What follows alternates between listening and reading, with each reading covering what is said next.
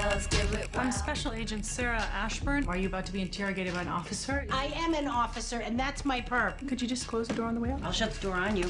Will you lay down here, put your head in the door, and I'll slam it about 157,000 times. Oh, girl, you better run.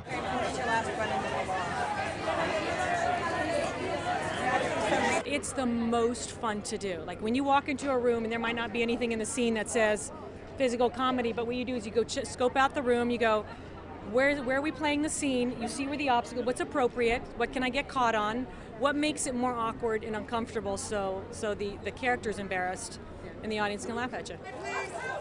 Sandra, Melissa, straight ahead. I think it's an extension of how both of us work.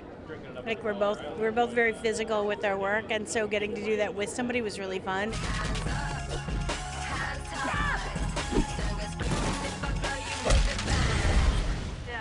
Pretty awesome.